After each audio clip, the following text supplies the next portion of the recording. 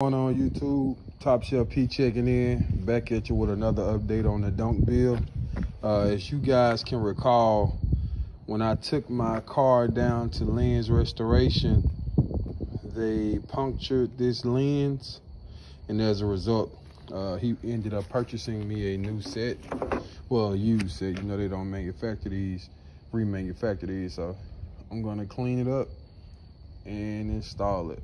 Um, he also lost my Impala sail panel emblem.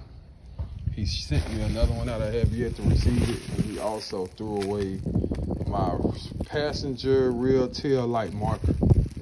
Uh, ordered me another one of those as well. So good guy to do business with, owns his mistakes. And uh, yeah, I'm gonna get this cleaned up and installed. There appears to be four screws on the front side and two bolts on the back end let's get started. Got it cleaned up pretty nice. Prepped up and ready for install. Here's a little bonus footage. This is a set of headlight bezels for a 1975 Delta 88 for one of my partners who lives up here in South Haven. These were actually in pretty good condition already, with the exception of a little bit of film and some minimal oxidation.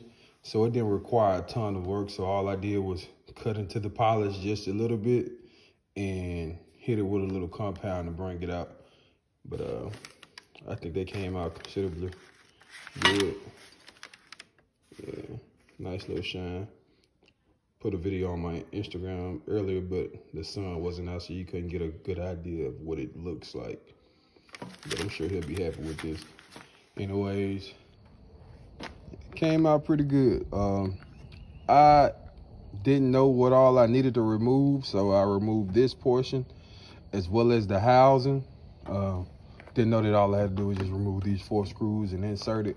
But I'm glad that I did because the seal um, wasn't all that strong. So now that I've seen that, I think Donk Parts or somebody else on uh, Instagram sells a replacement seal. And I want to just refresh those up, both sides.